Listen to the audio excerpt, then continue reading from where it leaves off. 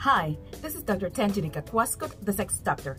I am devoting segments to questions that I receive from my followers. And the next question comes from a very curious woman, and it goes My clitoris is very small.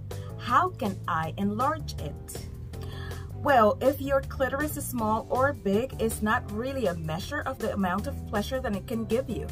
If you are having problems accessing your pleasure, then you have a lot of self-exploration to do and a lot of learning to do as far as how to touch your body and stimulate it to reach sexual pleasure and possibly orgasm.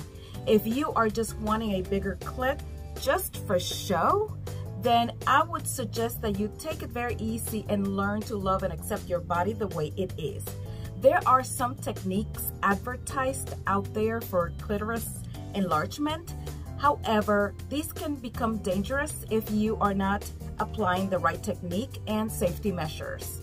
If you are going to do something like this, like maybe a suction cup to enlarge your clitoris over time, be careful not to inflict any damage.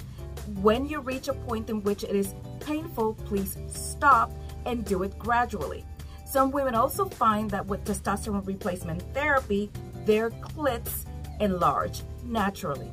So if you are wanting to explore this option, I wouldn't recommend it just for that sake. Consult with your healthcare provider and determine if you are a candidate for testosterone replacement therapy and your dream dreams of having a bigger clit may come true.